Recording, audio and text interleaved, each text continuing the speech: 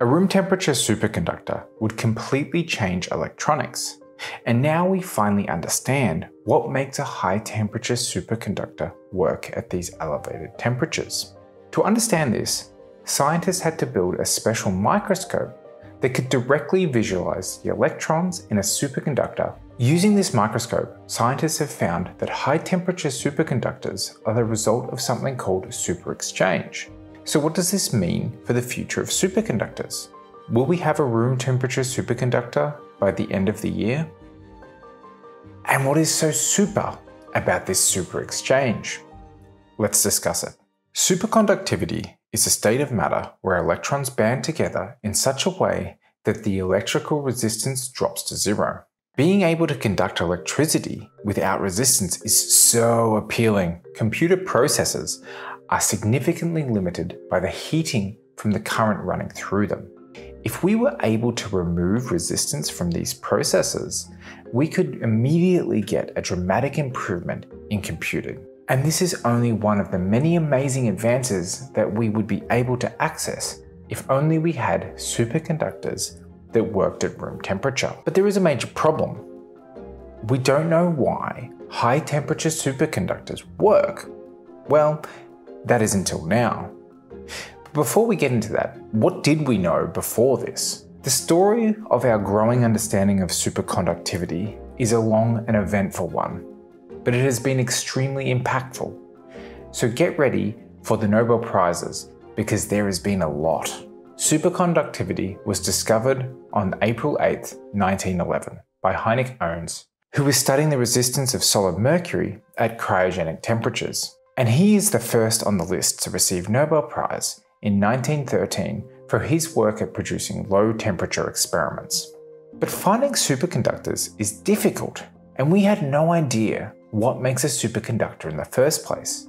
It took decades of research to find only a few more superconductors with a similar low temperature transition of about 20 Kelvin. Then in 1933, Meissner managed to figure out that superconductors don't just have zero resistance, but also repel magnetic fields, which was an important step towards understanding what was making this exotic state of matter. Shortly after this, in 1937, Landau proposed a theory for phase transitions that could help to explain the transition from a metal to a superconductor, which earned him the 1962 Nobel Prize. But this still didn't explain why superconductors were superconductors. We would have to wait until 1957 to have a concrete idea behind the mechanism, when three scientists, Bardeen, Cooper, and Schrieffer, would develop the theory that would come to be known as BCS theory, which would earn them the Nobel Prize in 1972. They theorized that at cold temperatures in certain materials, electrons with opposite spin and momenta could become coupled together such that they would attract one another rather than repel, and would form a new quasi-particle called a Cooper pair, which would have zero resistance. Now this is counterintuitive, why would two charged particles all of a sudden attract each other rather than repel? Well, there has to be another force that causes them to attract each other, and this comes in the form of their mutual interaction with lattice vibrations called phonons.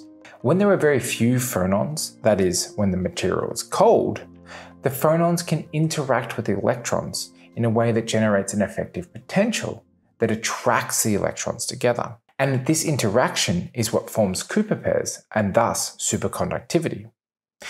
It is also why superconductivity only forms at low temperatures. As the temperature rises, there are more and more phonons in the lattice, which will eventually start to give the electrons a large enough momentum kick to break the Cooper pair. This fundamentally means you can't have a superconductor at high temperatures. Well, at least you can't have a conventional superconductor. After a couple of other Nobel Prizes in superconductors, we finally have a measurement that would fundamentally change our understanding of how superconductors work. In 1987, the highest temperature superconductor was niobium germanium, with a temperature of 23 Kelvin. But then a new class of materials containing copper oxides was discovered to have a drastically higher superconducting temperature. In 1986, Bednorz and Muller discovered that lanthanum barium copper oxide had a critical temperature of 35 degrees Kelvin, which ultimately won them the Nobel Prize. Shortly after this, a similar compound of yttrium barium copper oxide, or YBCO for short, was found to have a critical temperature of 92 Kelvin. This completely changed the traditional thought on how superconductors work. These materials, referred to as cuprates, can't form superconductivity through phonon interactions. They're simply too hot for that to be possible. So there must be another way for the Cooper pairs to form. Now, before we discuss how these unconventional superconductors work, we should discuss the role of pressure in recent superconductor experiments. When you take a material and place it under a large pressure, the atoms will compress together which can result in the atomic lattice rearranging and modifying the superconductivity. But it also changes the characteristics of the phonons in the material. And for superconductors, this is in a favorable direction. Many conventional superconductors show a higher critical temperature at higher pressures. Ultimately, this has resulted in near room temperature superconductors, but at extremely high pressures. There was a claim of a room temperature superconductor, but this paper was recently retracted after some questions were raised about the data analysis. Either way, while high temperature superconductivity can be made at these high pressures, for technological applications, I think we can all understand that this method is not viable. Maybe it might be useful for some deep underwater cables, but for everyday electronics, not so much. So we need to understand how unconventional superconductors work so we can hopefully design an ambient conditions superconductor. So this takes us to the latest results. The proposed mechanism for the attractive force between electrons is something called superexchange. Now when we say that there is an exchange interaction, we are referring to the interaction of two electrons that are bound to an atom that are neighbours. Specifically, the atoms are the closest atoms to each other. Now, super exchange is the same, but it's between next nearest neighbors, meaning that there is an atom in between the two atoms that are interacting, which plays a role in the interaction. This makes it super because it's an interaction that occurs over a large distance.